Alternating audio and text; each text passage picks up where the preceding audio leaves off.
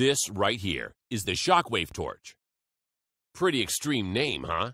Well, that's because this tactical flashlight is pretty damn extreme. We made the Shockwave Torch because we wanted to give Americans an awesome, legal to carry everywhere self defense tool. This thing is a beast. It's made from aircraft grade aluminum and is built like a tank. I treat mine like dirt, and it works the same as it did the day I got it.